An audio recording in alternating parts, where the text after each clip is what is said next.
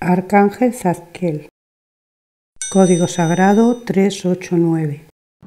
¿Cómo usar los códigos sagrados? Repite 45 veces seguidas el código que quieres activar. Debes de hacer una secuencia de 21 días o hasta que tengas resultados. Agradece siempre todo. Código sagrado 3333. Comienza diciendo, con el poder de mi intención activo el código del código que quieres activar. Recuerda que las palabras tienen mucho poder. No olvides hacer tu petición. Los códigos sagrados están dentro de nosotros, solamente hay que activarlos.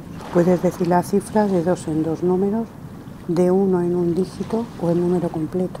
Los seres de luz están para todos, sin importar las circunstancias. Los seres de luz no nos juzgan por nuestras acciones o por nuestras decisiones.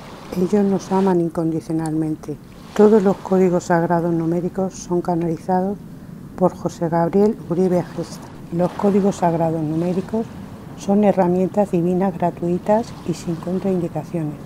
Abran la mente a lo nuevo. Los códigos sagrados fueron atraídos por nosotros debido a la ley de atracción.